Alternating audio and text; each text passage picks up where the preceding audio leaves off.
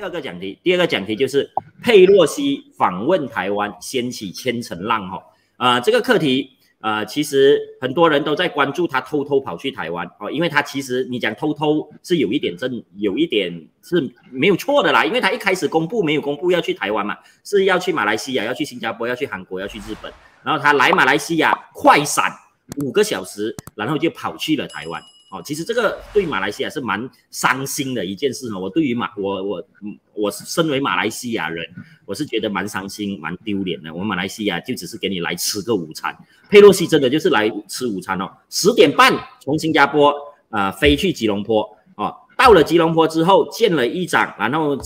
见了首相，吃一个饭，呃，三点就坐飞机走了，前后大概五个小时。那台湾本来没有在他行程里面的，他在那边过夜啊，十点多到，然后第二天啊还跟蔡英文一起吃早餐，一起去见，然后待了十九个小时才离开台湾。你想一下哈，我们有在行程表里面待五个小时，没有过夜，没有在行程表里面待十九个小时，还有过夜，所以其实身为马来西亚人，我是觉得。我蛮伤心的啦，哦，蛮伤心。美国很明显，他重视台湾的程度远远超越马来西亚。哦，当然你也要往好的一方面看啊，我们可以位列四个呃佩洛西特别来访问的呃亚太国家，啊，其实就代表啊我们被美国视为亚太布局的其中一个重要盟友。因为你看哦，我们新加坡、韩国、日本。当然，现在加上一个台湾，这现在佩洛西访问的五个呃国家里面哦，这四个都是跟美国有紧密合作关系的，哦啊，马来西亚是没有的哈。那美国的飞机、美国的军机、美国的呃航空母舰是很少，几乎没有。我记得印象中是没有会停留在马来西亚的，没有。英国的还有过，好，美国是没有。但是美国的军机、美国的嗯。那个航空母舰停在新加坡、停在韩国、停在日本是很正常的事情。在日本、在呃新加坡、在韩国都有他们的军营在那边，在韩国跟日本甚至有基地。好，所以佩洛西出访他们很正常。加入马来西亚，我们马来西亚是虽然是亲美，但是我们表现出来是中立的。你们两个大国去打，不关我们的事情，我们是不结盟运动。好啊，但美国还是佩洛西还是过来，不要以为佩洛西这位老奶奶她八十二岁了哈啊，没有什么影响力。佩洛西是民主党里面最有权势的人物，可以说是全世界最有权势的女人。在默克尔德国总理前总理下台了之后，全然后在希拉里·克林顿就是啊希拉里啊前国务卿退休了之后，她就是全世界最有权力的女性。啊，最有权力的女性，而且她在民主党里面所掌控的实力其实是高过拜登的，哦，其实包括拜登。如果希拉里在，呃，不是希拉里，佩洛西在年轻个十岁、十五岁哦，我告诉你，总统就由她来选了，哦，总统就由她来选。她是美国第一位创造历史的众议院院长，众议院就是我们马来西亚的下议院，就是我们的国会，跟马来西亚一模一样，一个选区一个选区这样子打。佩洛西在加利福尼亚的选区，他每一次出战都是拿到七十八千、八十八千的选票。我去看了他的竞选记录，哈，最高拿到八十五八千的票，他的对对手只拿到十八千的票。你可以想象一下吗？在美国两党制、两党都差不多的地方，佩洛西可以拿八十五八千的票啊，所以他是一个政治强人。大家千万不要小看他的力量，当然也佩服他了。八十二岁这样子连续的飞出访五个国家。哦，然后一点也不眼泪，啊，真的是一件不简单的事情。你看一下八十岁的老奶奶有多少可以像她这样，而且她也体态也保持的很好，哦，一点也没有疲态。当然有人讲，啊，佩洛西啊去台湾十点才到，是怕了中国哦。其实如果他怕中国，他就不要去就。为什么十点才到是怕中国？你知道佩洛西是几几点到新加坡的吗？当你这样子讲的时候，你我。讲这样子讲的人肯定不知道佩洛西是几点到新加坡的。佩洛西是凌晨四点半到新加坡的，大家可以去查一下，他的专机是四点半飞到啊拜尔里巴空军基地的。那他去新加坡是怕谁？怕印尼吗？为什么要凌晨才下下降？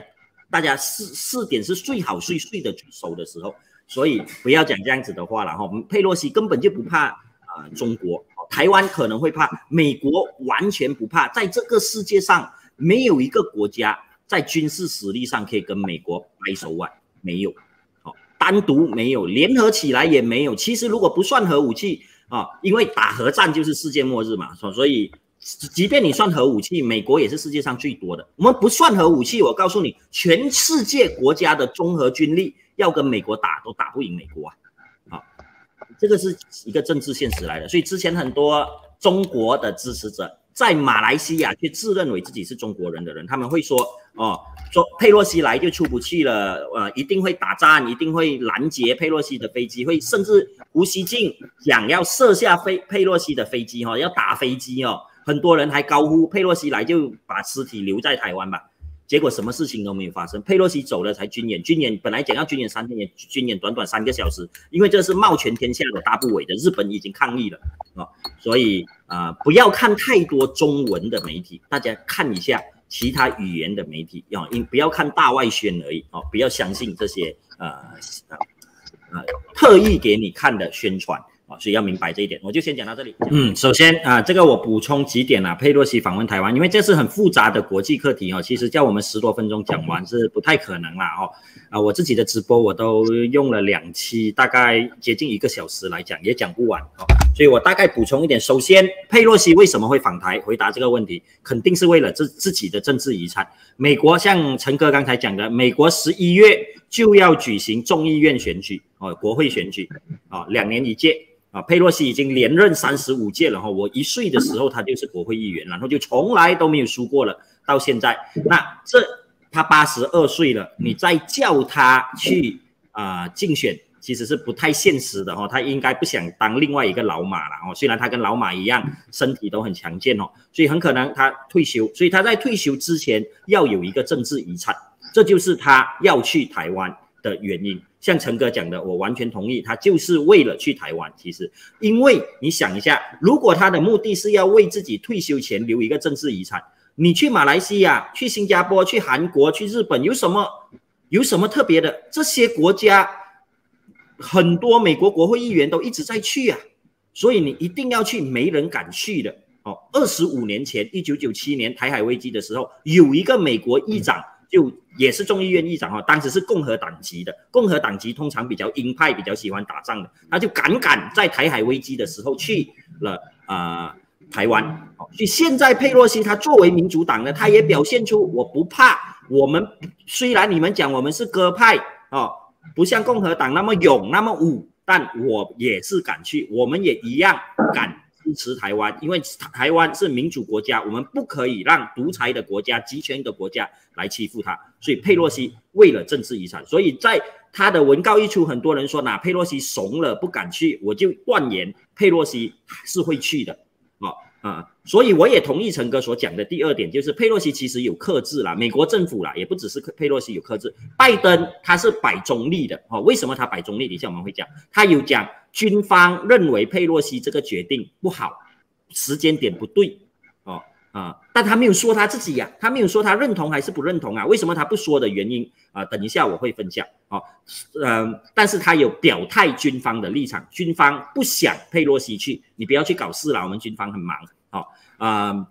然后佩洛西他也没有，他公布行程也没有特别公布，我就是为了为去台湾呐，啊，所以啊，他其实没有特意去挑衅，但是他去是为了政治遗产，为了显示对台湾的支持，为了呃民主党的选情，这是肯定的，要给大家知道，不只是共和党。敢对中国呛声，现在全世界围堵中国的情况，围堵俄罗斯的情况已经越来越明显了哈啊，这个态势已经越来越明显了。所以，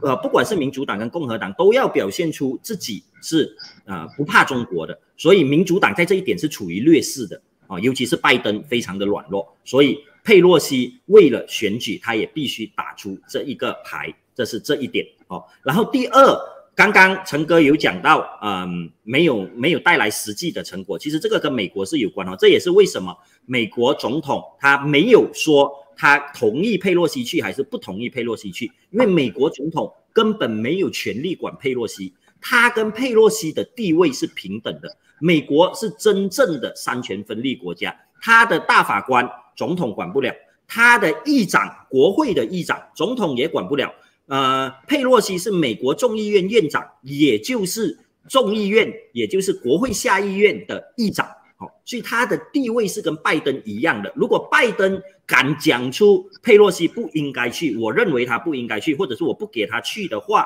啊，这样子是。完全违背美国的政治逻辑、政治伦理的，好，所以这就是为什么拜登不表态，大法官也不能表态的原因，就是这样子，哦，三权分立，佩洛西代表的是国会，所以你看，佩洛西去台湾、去马来西亚、去新加坡、去韩国啊、去啊日本好像还没有去到哈啊，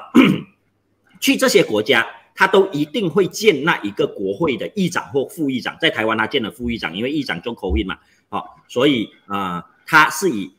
立法机关的形式去啊拜访、去出访，所以当然他不能代表政府去谈这些军售协议、去谈谈这些经贸合作，因为它是立法的一部分，不是成政府的一部分哈。这是第二点啊，我要讲的。然后第三点，韩国我看到有读友留言说，韩国啊。不要见韩国总统，没有见佩洛西啊，是怕了中国还是什么？其实确实，韩国韩国肯定是亲美的。我跟你说，韩国是不可能不亲美的，因为有朝鲜存在呀。朝鲜在跟韩国到现在还是战争状况哦。他们之前韩战到现在的战争状况，到现在都还没有解除，只是没有打罢了哦。其实他们还处于宣战的情况。朝鲜背后是中国，人尽皆知。那你？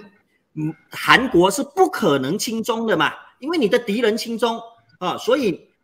你不可能去亲中，你就只能亲美哦，所以他必然是亲美，可是他又很靠近中国，他想跟中国做生意，所以他尽量不要得罪。所以韩国的新总统，而且他根基未稳哦，才刚刚上任几个月的时间，一两个月的时间选上来啊，所以他选择避见啊，说我在休假啊。但是给韩国的舆论、韩国的民众骂到半死哦！你对中国妥协，你怕中国，所以我说现在全世界围堵中国、围堵俄罗斯的，呃，这种情况已经越来越明显了。全世界的人民都都有这样子的态势。为什么会这样？其实跟中国的战狼外交也一样。像你看佩洛西去访问，其实你大大方方欢迎你来我们中国的领土，台湾是我们的一部分，我们欢迎你去看看台湾啊。也欢迎你到中国来访，这样子多么大方。结果你你用另外一种方式，用战狼的方式说我要打你飞机，我要去拦截你，我要让你的尸体出不去，进来就出不去了，显现自己低端，而且你讲了还做不成，你根本不敢跟美国打，丢脸的是自己哦。所以战狼外交是让